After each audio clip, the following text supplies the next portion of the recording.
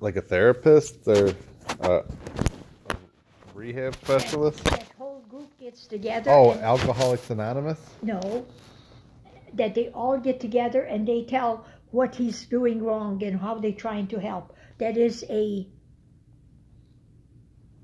Like a commit. no, that all the people are there. Eh, eh, oh, an Intervention. intervention. See, it come, but it takes a while. That is so embarrassing for me when this happens. It's all right. I didn't even know it. So I says, now we play charades. That's true. and, they- and so if I can't think of it, I says, they do this or that or whatever, then right away they know what I'm. Well, I don't do it with strangers, you know. I just rather not talk so they don't know that I'm having a little problem. But with the kids, they know. I said, we just have to play charades now. So he who who was who took him to the intervention? He thought, Ba- Bab, when we were getting in the car, because I drove, I took my car, and he went with me. And he thought we were going shopping. I should have told him the truth, but I figured he probably wouldn't want to go. and there was everybody, all my children. And Bab, Bab, Dwayne was there. Gregor was there. Everybody was there. I don't know. I think even your mother was there. I don't remember but it was so bad and i mm-hmm. cried so hard that i could hardly talk and i told him if he's not going to get himself into rehab you know to get cleaned up I, i'm not going home with him and i didn't i went and i stayed dwayne had a mobile home you know a trailer and uh, so Don and I and Brian went there, and Bradley stayed home. Somebody had to stay with him. And so I was gone for two weeks, but I came in when he was at work and I wrote a note and I told him I picked up my clothes and all that. And I remember, I wish I would have saved it. It's probably here somewheres, but when I packed and I moved, I never unpacked. I don't know where it is. But he had underlined in red ink, no, no, no. And so when he quit drinking, it was like two months before he died. And I know he come home from work one time and he says, "You're going to kill me with this." And I probably killed him because see, he was a stubborn man. He was a good man, but he was very stubborn. He was supposed to go and get himself so they can give him something to counteract whatever, and he wouldn't do that. And so in two months he was dead. So I have a feeling uh, I had a hand in his dying. You can't say it like that. No, seriously. I mean, I know that you can think like that, but that's not something that took place over a couple months or a year. That was something that was going on for years For and years, and years. And I tell you, he drank so much. One time I called your dad and I says, "Oh, you're home. Where's dad?" And he says, "Well, I dropped him off home. Isn't he home?" I said, "Well, I looked." I says, "I looked in the garage. I looked in the basement. Looked upstairs. He's not here." So I happened to go in the back, and he's laying on the ground by that, by the, you know where the door wall was yeah. and on the grass there by that cement. And I says, Babe, get up so neighbors don't see you. He says, time to go to work. He just got home. And and one time before that, the kids' na- neighbors, probably close by your mother's there where they lived on Millar, and they said, uh, Mr. Hein is dead. He's laying. he dropped dead. You know, was laying by the garden. No, he drank a lot. He drank a lot. He drank at work. yeah. So no, it was it was not easy for me, and especially you know. I know, Grandma. No, you have no idea. You have Well, I know. I technically don't know, but I. it was so hard. I remember one time I had a bad cold, and I never drink. I never, you know that. I never touch that stuff. And I took. He always had Southern mm-hmm. Comfort at home, so I was sitting on the couch in the living room, and I I mean, a family room. And I put it over here by the couch in case if I cough so hard, maybe that would help me. I take a little while. I don't know which of the twins took it because I didn't see them take it, but they hid it. I guess they figured I'll get trumps like dad. No, it was not an easy life. I I know. I And another woman imagine. would have either drank with him or left him. Because that was a long time. Because that was 39 years that we lived. And he drank a lot. uh, He was an alcoholic. yeah I I know. I I actually have memories of when he would he picked it would pick me up occasionally from my aunt Pam's house, and would take me to go get candy bars in the store. Buy all the candy. Yeah, a bag, a bag of candy Yeah. bar. He wouldn't. He'd only let me buy chocolate though. He would never let me buy like the. Stuff that you choke on. Well, no, he wouldn't let me buy like the the f- fancy sour candies. It was he, he he'd buy me a hundred Snickers bars, but he wouldn't let one one colorful candy. You know, where you're a kid, the colors is where it's at. But Do you know any misunderstandings that we had was over his drinking? At the end, I didn't even, no use arguing, no use hollering, no use begging, because I tried all three, nothing helped.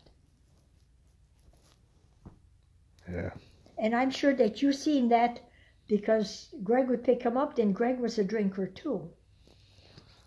And he's not such a drinker now. That's good. no, that's But when he's out, I hear like to a wedding or whatever, It- he will be his self again, just like Bab. That's what we love about my dad. We we don't necessarily encourage it, No, but we know it's going to be a good night. no, that's not a good night for your mother. Well, Uh, he's not see- going bananas. No, but you see, My dad, literally, on my mom's side, Yeah. all of us cousins, literally talk all the time about the great stories we have when my dad lets loose a little bit. yeah, but that's not good. My dad's like a, a, wi- a wild a wild tiger. Like you got to watch him when the cage is out. Yeah, yeah. But everybody's gonna enjoy Bob it. was like that too. You know, and he talked to everybody. I mean, the nice thing about being with Bab was I was always more reserved. I was not a wild person. Like I said, I'm very private, always was. Never, I will never change. And so he would be like my crutch because he always could talk and whatever. So it made me safe. Yeah, Do you know what I mean? absolutely. Yeah. Well, like you complimented each other. Ev- That I I I I I've said this to my dad a lot and my mom. I think that's why Grandpa drunk people who are in combat, especially people who are bayonets and shovels, Yeah. will have combat fatigue after. Yeah, and he was not a healthy man when he came back, He took shrapnel in the neck, and he was the only one out of the and he had to kill people Yeah. from me to you with Yeah. shovels and bayonets. Yeah, So that's not something that goes away after No. a couple years. It comes back when you're not even prepared for it. yeah, So even though I it sucks that grandpa had a drinking problem, but like it's not because of his own choosing. You know, like sometimes you have to repress those memories. It, I, I've never killed nobody, so I can't tell you what it's Yeah. like to live with after Yeah. the fact That- of that- me that- having to hit somebody with a shovel Oh Jesus, that could have must have been so terrible. and then just for that, then to catch shrapnel in the neck and everybody's dead. So maybe your prayer stopped Mm-hmm. That shrapnel from cutting a half an inch deeper. Yeah, it, yeah. I, I, I, and he got an honorable discharge.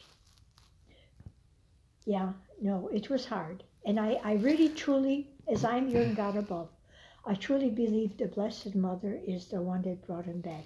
I thank her every day for that she brought him back. I, I do praying. You're a good lady, Grandma. Just that's why I said this is kind of like This kind of is tribulations, the heartbreak, but love at the same time. There's always the the the, the smiles and cries. It's always you know And one day you're up and the next day it's down. It's it that's how it is for in Americans we got it easy. Yeah. We never no American really knows what it's like to be hungry. You might be Yeah, you might want to get a bite to eat, Yeah. but you it's not like you haven't ate for 6 days, yeah, okay? And that's Yeah. what 90% of the world doesn't eat. There's a child about to die right now because he hasn't ate or drank in Africa or India or you know we've never had tanks roll down our streets. yeah. There's never been house to house combat. We've we've lived a sheltered existence. And you know,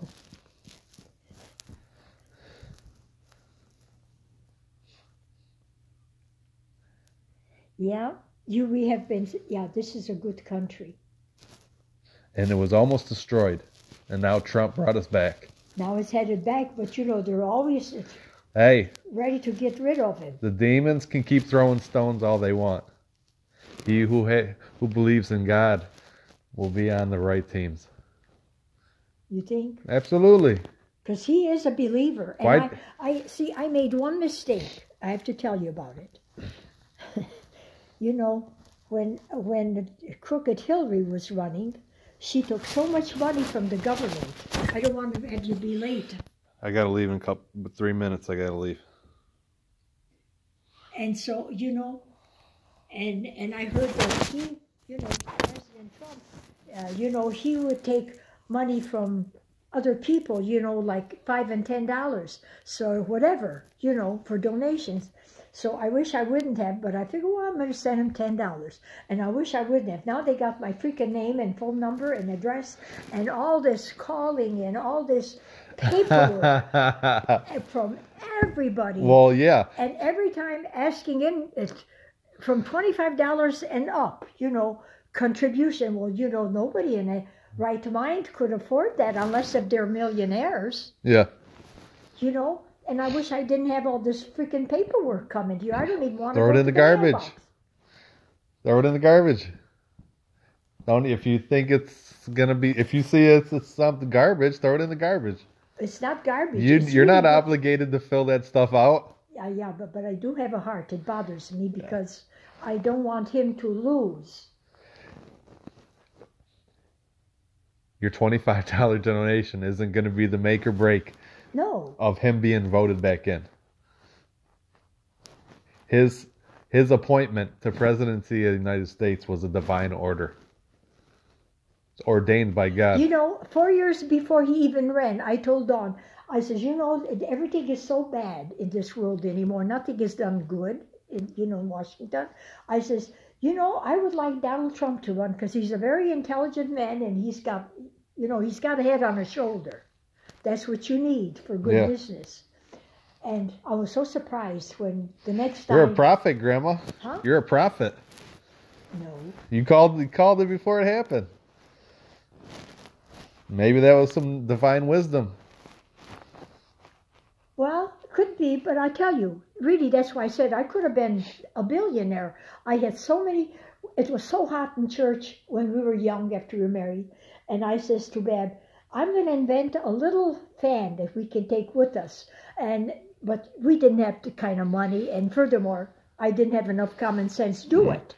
But I had so many different inventions that are out now that I could have been Yeah. but maybe it wouldn't have been good. Maybe there was a reason why I didn't do it. No, maybe you could have did it and then sold that patent to somebody else who made it better. That's oh yeah, I'm sure. I'm sure. There, you know, even hot plates for the table and everything. This was all in this mind. If you don't believe me, you can ask the kids. But who knows? Maybe if you would have became a billionaire, you wouldn't you wouldn't have been such a good person afterwards. No, that would never change me. You well, you can. It's easy to say that, Grandma, but money changes everything. No, Everything. I would have been so more happy. money, more problems. No, if if say that I developed, if I got a lot of money now, you know what I would do with that money? I would help each of my children and grandchildren. I really, it would not change me. Oh, you're talking about billions of dollars, Grandma. It's That definitely change you. yeah. You'd you'd have people every single day, 500 people a day, asking you for money. Eventually, it would have made you a colder person. no, you seen what I did with the phone call on and off? yeah, that was cold blooded, Grandma. Oh, you know, one time I picked it up.